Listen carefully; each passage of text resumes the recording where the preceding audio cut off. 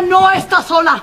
Aunque la veas con esa cara de que quiere perdonarte, aquí, aquí tiene quien lo puede impedir. Pero Federica... ¡Tú cállate! ¡Cállate! Mi amor. ¡No le dirijas la palabra a mi amiga! Tú no mereces su cariño. ¿No? ¡No! Ella es buena, pura y casta. Mientras que tú, tú eres un mujeriego machista y depravado.